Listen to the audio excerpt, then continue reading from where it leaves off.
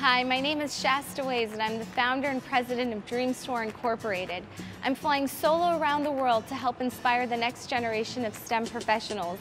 I'm here today at the Emirates Aviation College and I'm so excited to fly one of my favorite airplanes, the Boeing 777. Hi! Hi, Shaesta. I'm Bhakita. We've heard a lot about your Dreams Soar mission and we also know that you're used to flying a single-engine aircraft. Right. But today you'll attempt to fly a Boeing 777 in our state-of-art simulator. Are you ready? I'm ready. Let's, Let's go. go.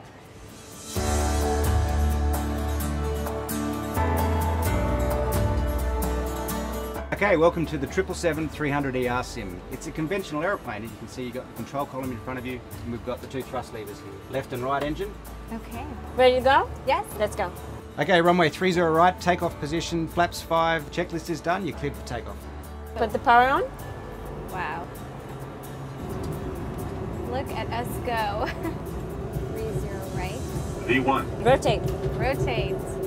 Woohoo! Gear up. It feels great, much faster than my plane. I believe you're the first uh, female civilian pilot here in Afghanistan. yes, yes.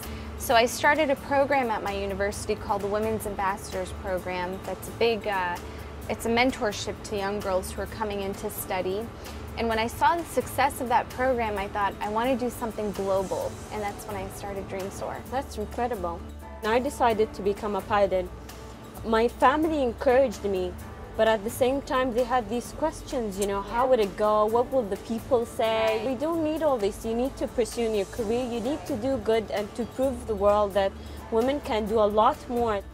What has been your hardest leg so far? There were times where it was very quiet and isolated, and you just, I, I had this moment where I looked out and I realized I'm really by myself in the middle of the ocean at 7,000 feet, and uh, there's nobody out here.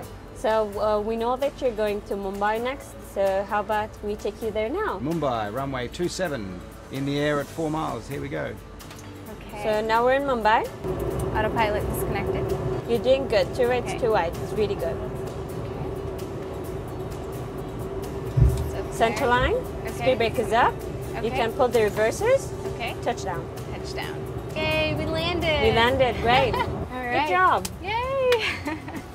Flying my favorite plane in the simulator was an incredible experience. It's very good that she's doing this and she's showing it to girls all around the world that they can pursue their dreams, not just to become a pilot, but any dream they have in mind. For any woman out there who wants to pursue a career in STEM, treat it as if you were flying an airplane. The airplane doesn't know if you're a man or a woman. It uh, responds based on your input as a pilot. So have that approach to life. Go out there, dream big, and your dreams will soar.